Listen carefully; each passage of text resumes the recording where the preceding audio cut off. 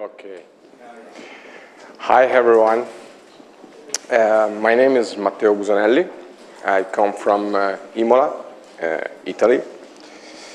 And uh, today, uh, what I, am going to show you is some uh, case of, in, in which we apply a semantic enterprise knowledge management platform that use semantic MediaWiki as a core component.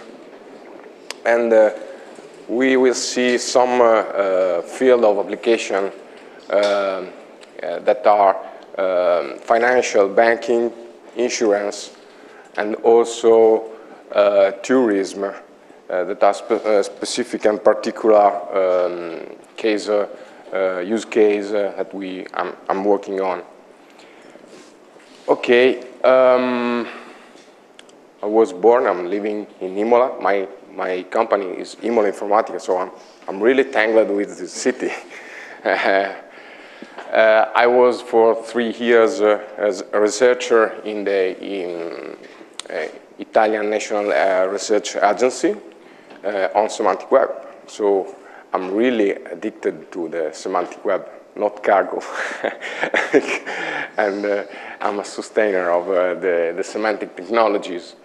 Um, and since uh, 2008, uh, at present, I'm working uh, as a, an IT strategy consultant and advisor on enterprise knowledge management for my company. And this is the secret of Imola, obviously. I'm working on just in the last month uh, on uh, IT service management, IT governance and cost allocation uh, for a big international uh, insurance group. Uh, on enterprise architecture, uh, I don't know if you, if you know about enterprise architecture, but in the next slide we, we, we see and explain something about enterprise architecture for the municipality of Milan. GDPR modeling uh, um, to provide a record of processing activities that is required for compliance with the GDPR, and a technical advisor for the, um, as a technical advisor for the Smart City Hub um, for tourism and um, uh, just we, we, see at the end of the, of the presentation about this uh, kind of application. A little bit about, uh, uh, I'm sorry, uh, can I have uh, the, the, time because uh, um, a, little about, a little bit about uh, theory and methodology. we start from a key point that's really important for us, that is knowledge is the, the center of, all, data is the center of all, not tools. Because my company is not a product company, it's a consultancy and uh, we believe that uh, knowledge is really the most important and valuable uh, asset for enterprises, second only to the, the persons. So knowledge should be, uh, for us, first of all, formalized in an independent uh, manner from, and independently from the tools we, we're to use. So we don't want to have lock-in on tool uh, should be interconnected, thinking about linked data, but not on, on the, uh, on the internet, just inside the enterprise. Uh, should be provided as a central enterprise service. Uh, each company, each uh, enterprise should have an hub of knowledge. Repeat, not an, uh, a tool, but uh, really uh, a service um, from which can take all information for every kind of problems and activities and freely merge this information um, accordingly with, with the, the problem uh, he must uh, solve. Um, knowledge must be easy to produce and uh, to be classified possibly in an automatic manner. easy to integrate with other external sources. Um, I'm thinking about uh, Wikidata. Uh, but this is, first of all, uh, a problem of uh, corporate culture. So if we can um, touch this point and make the, the, the, clients understand that knowledge is really important. Uh, next step in the activities uh, uh, could, could fail in 90-90% because always the, my, our clients think about, okay, I have a problem, I need a tool.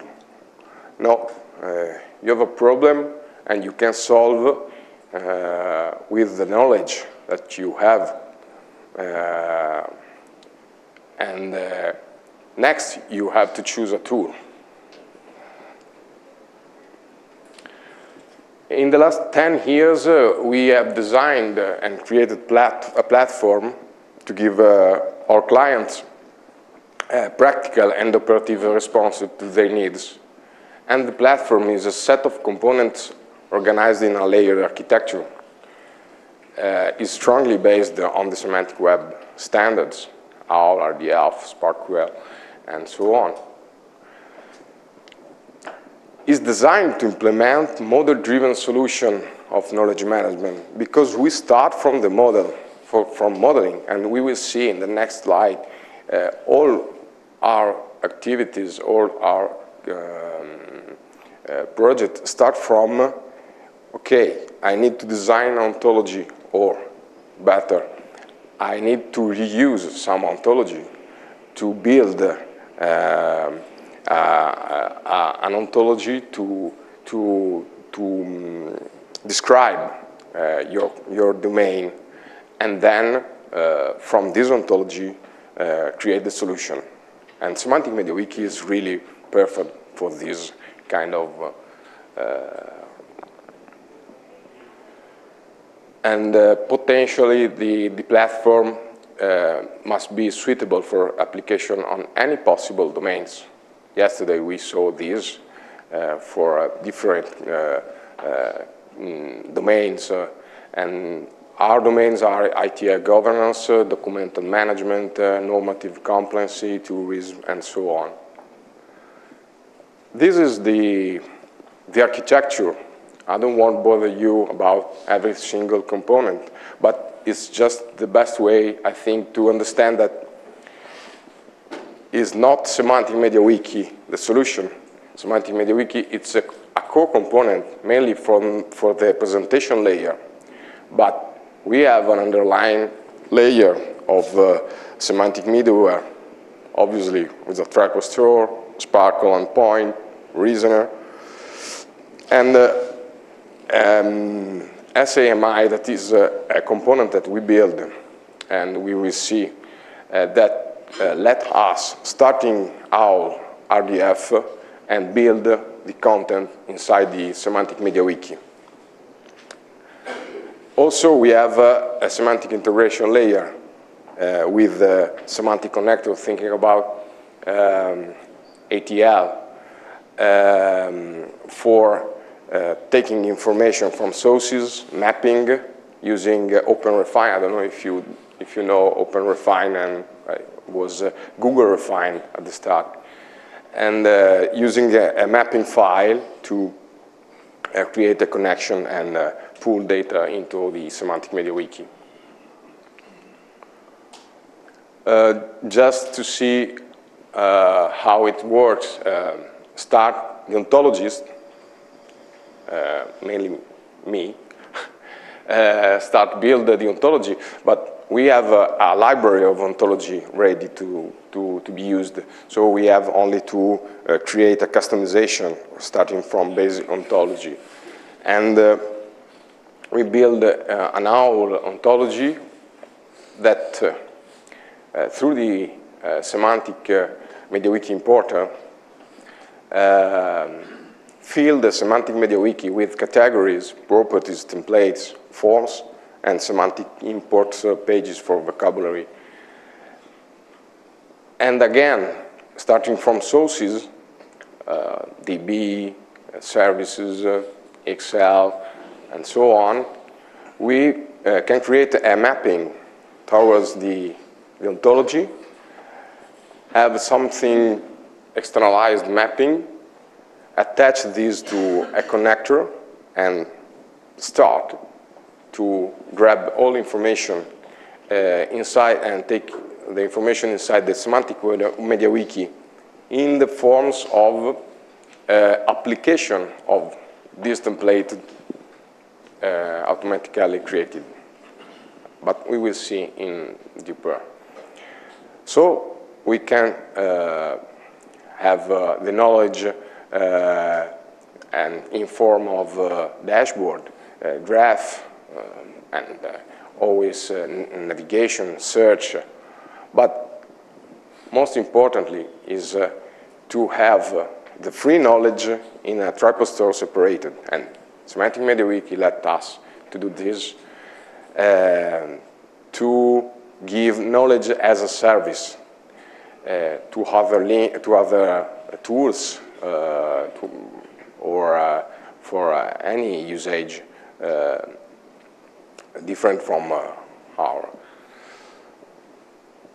Okay, the um, semantic importer we call CMI um, do exactly these things.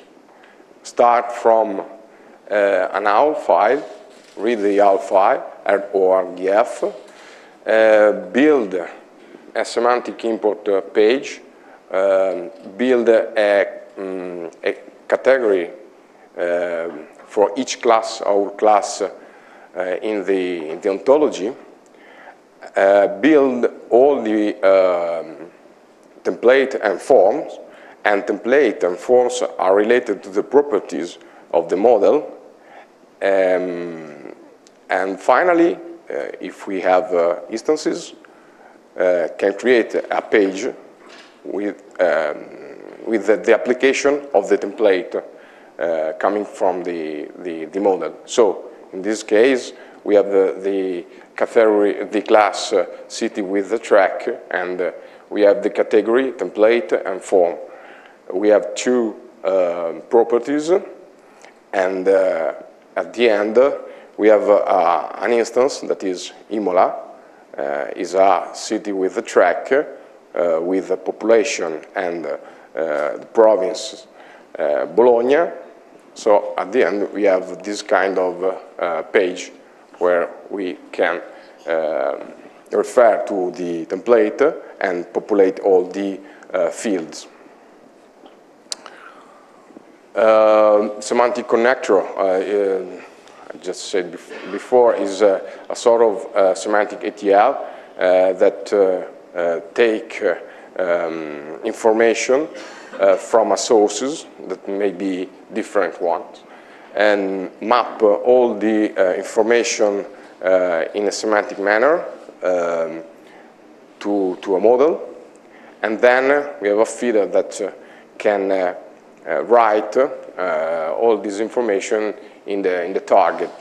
And semantic MediaWiki could be one target, but we can uh, use another uh, feeder. Um, this is an extension that we build, and I think uh, it's a uh, it's a good. Uh, mm, uh, in the next time, I, I try to to publish this uh, this extension because it's uh, the same of semantic result format, but really specialized for SPARQL. So we configure um, an endpoint in the local setting and then in the pages, we can make a SPARQL query on this endpoint and produce uh, diagrams like this, uh, dynamic di diagrams, so uh, pie chart, donut, uh, bubble chart, uh, tree map, uh, graph, uh, and so on. Why we need we needed to have something like that, that some some diagram like this could be produced also from uh, ASC and, uh, and uh, semantic result format. But SPARQL is more powerful for us because we can integrate many information in a powerful way and uh, we can build easily uh, um, complicated diagram. Uh, just the, the graph uh, is one of the most um, complicated to, to build and navigate. Case one, banking. Uh, a big North Italian bank asked for help uh, after an ECB Uh, audit uh, that uh, asked to the, the bank to, to produce an annual report about the state of the art of the IT. It is really important for a bank and uh, it's uh, really complicated. So uh, when the ECB asked to the bank, okay, give me, show me your IT, the bank say, oh, I, I don't know. and uh, we uh, have a solution for this that deal with knowledge management.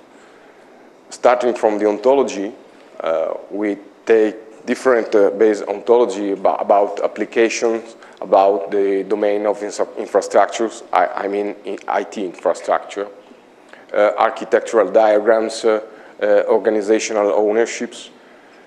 Starting from this ontology, we could produce uh, uh, the forms, template, and uh, whichever in the Semantic MediaWiki. And from this uh, form, each owner of application could edit and put the information on his application, on his infrastructure. Uh, so in a collaborative way, uh, each one could fill this information and, and from uh, this data we can generate PDF uh, document uh, about all the IT. Um, Case two, uh, bank, for banking and insurance too, is uh, enterprise architecture. Enterprise architecture is uh, a practice that translates the vision and the strategy in real changes for the, the company. And uh, it's particular suitable for big company uh, where um, doing things is really difficult uh, because uh, when something is touched, they don't need, they don't know what really will be will happen.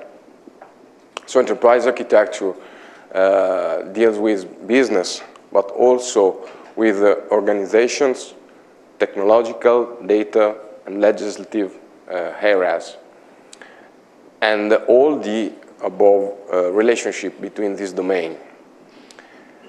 Uh, in strongly IT-dependent organization, just like bank and uh, insurance, uh, mm, IT governance, uh, IT governance is a fundamental discipline for support for supporting enterprise architecture uh, dynamics. So, again, uh, needs in enterprise architecture, uh, we express uh, these uh, in forms of what what the enterprise architecture should answer to these questions. Um, what is the impact of evolving a financial service in terms of processes, application, IT infrastructures, organization, and costs? Or another question could be, what happens if uh, IT decides to dismiss a specific software? Okay, today this version of Oracle should be over. And, uh, but what happens uh, in terms of impact on, for business services?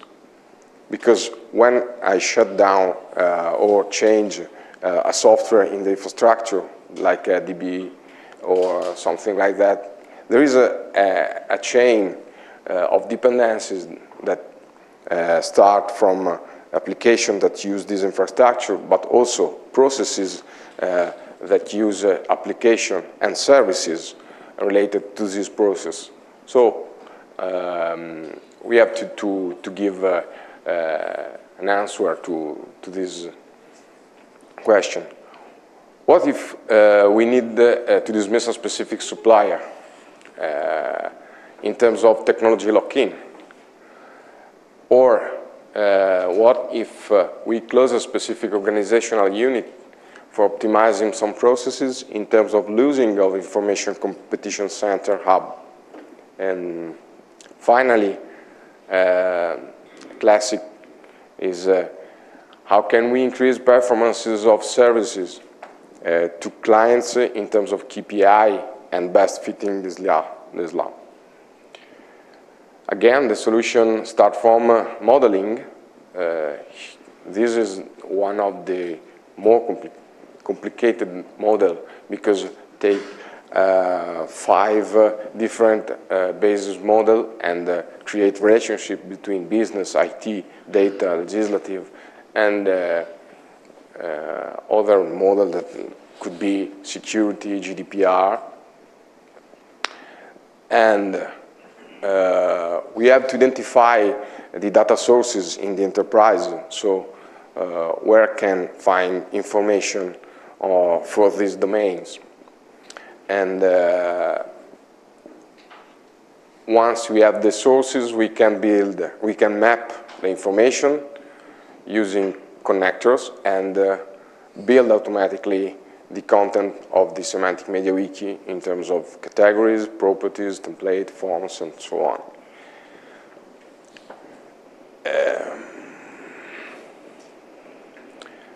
Um, um, okay, at this point we can have uh, data navigation, but also we can have uh, uh, the forms, uh, um, we can have, uh, um, sorry, uh, drill down, but also the, the graphs. So through a graph, we can say, what if I shut down this server in terms of what processes could be impacted? Uh, dashboarding, and uh, finally reporting. Case three, um, we are talking about uh, budget and uh, IT cost management. So when, uh, when we are in a context of a consortium, uh, both for banking and insurance, it's really important to justify the, the price of each service uh, to each company of the group. And the IT service cost should be a sum of uh, costs of service, cost of applications, cost of IT infrastructure, and other and uh, we have to define a distribution driver uh, of the, uh, the expenses. Um, the problem is that economic information doesn't speak the same language uh, of the IT landscape. So uh, cost items doesn't refer really actually with the IT assets. And once again, it's, uh, it's a matter of uh, knowledge management to retrieve, reconciliate, and connect all kind of information. We build the ontology uh, and uh, we identify sources, um, economic report uh, concerning budget, uh, cost category, annual amount ordered per categories. And so we can uh, produce uh, diagrams and uh, dashboard. Because at the end, uh, what really interests the, the client is not specific data, but have an overview about the, the economic state. And um, for example, a CIO uh, want to know, uh, okay, how much cost this service and uh, why, and uh, who is buying this service uh, uh of uh, our um, consortium. So we can have uh, obviously all the distribution in the for services and categories of budget. All these um, diagrams will be produced from SPARQL queries. GDPR, you know what GDPR is, and so um, this regulation uh, asks each enterprise to keep safe all personal information of the um, personal information uh, of person uh, who deal with in, in internal or external. And GDPR defines a specific uh, record of processing activities that must contain information on what that uh, data are processed for uh, what purposes and uh, who is responsible of this data. Just the same. Um, we build a specific GDPR ontology uh, using uh, also some security ontology and, uh, and uh, IT ontology for the, the, the archiving of, uh, of data. And um, we identify and import all data um, about um, that could be important for GDPR compliancy. And um, in this case, uh, there are very little uh, digitalized information. So uh, the main activity is a manual activity to use the, the forms uh, to compile una tantum once all this information.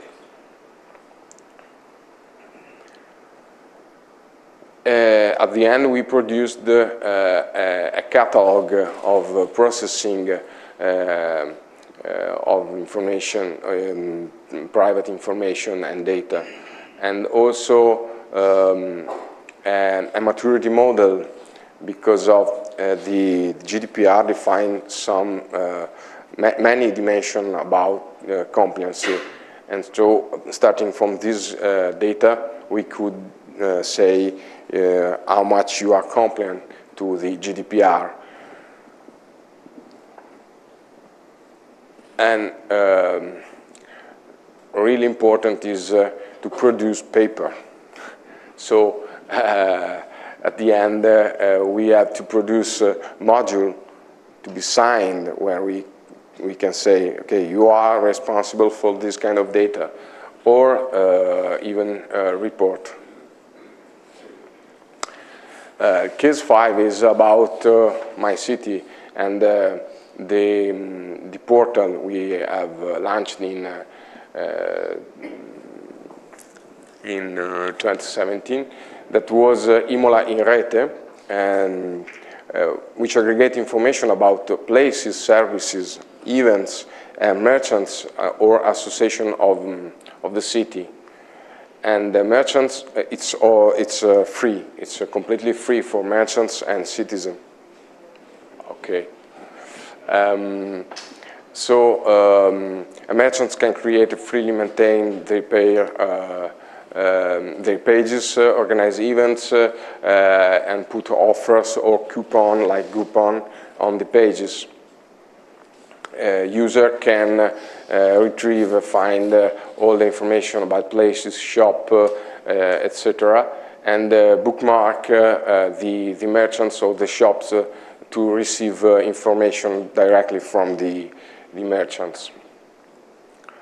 And uh, also, uh, user can search along a path, uh, like home work, and uh, have uh, information about uh, what is in the, in the path, um, dependently on his, his preferences and the,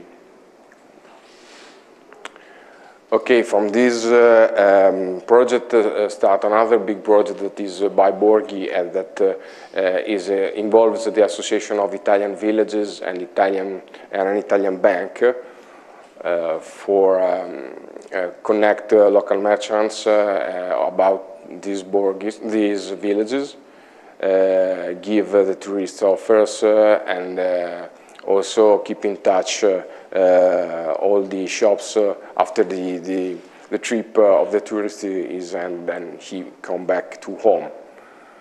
Finally, and just um, closing, we have our wiki.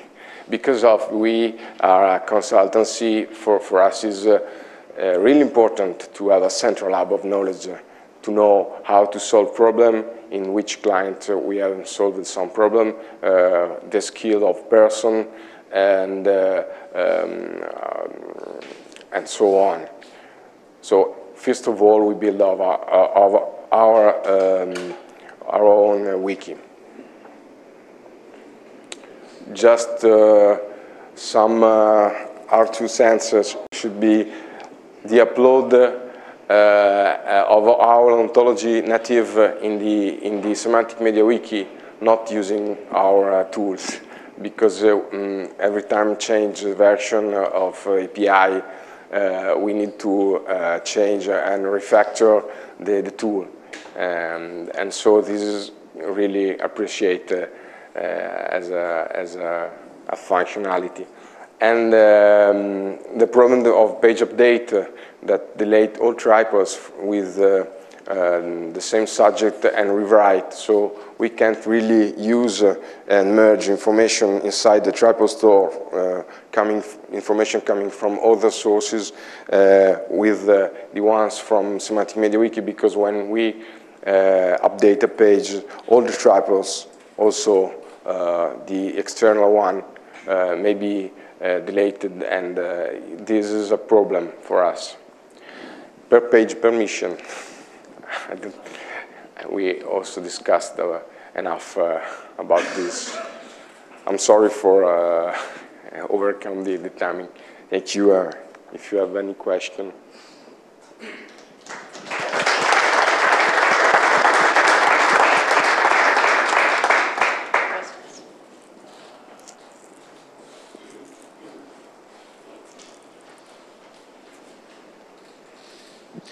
Uh, I'm very curious about that SPARQL visualization tool you have, uh, the SPARQL uh, query results uh, formatting thing. Uh, do you know what I'm talking about? What? Dashboard. Yes. It's, Yeah. Is that a MediaWiki extension or an outside tool? It's uh, it's uh, formally um, become from uh, the the queries the SPARQL um, query and. Uh, it's uh, it's all integrated in the in the extension. It's a it's a MediaWiki extension. It's a Is it a, a, does it run in MediaWiki or is it an out, outside of MediaWiki? no no, it's in MediaWiki. Yeah. Yes. But in theory, it it could just be an outside tool, because I, well, I don't know that much about querying, Uh, uh, SPARQL querying, to be honest, but, uh, but uh, potentially, the- well, I don't know if they're outs, uh, just third-party tools for doing SPARQL querying and then formatting the results in some way, the- whether there it's are, are other. man- many tools that Oh, okay. do something like that, but uh, the problem is to really integrate inside the the, the MediaWiki pages. Yeah. And uh, we use some libraries, JS library to like the uh, D3 uh, for uh, having uh, the the graph, uh, and Yeah. also, but uh, we have to deal with the um, the query from the page of the wiki. Sure, yeah, is, is is that a, is that a released extension? Have you released it? Yes, the, the SPARQL extension, Yeah, what's it called again?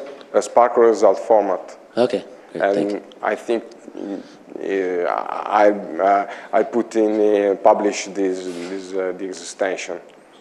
You haven't published it yet, though? No, Okay. We're waiting eagerly. Any other questions? Okay, thank you.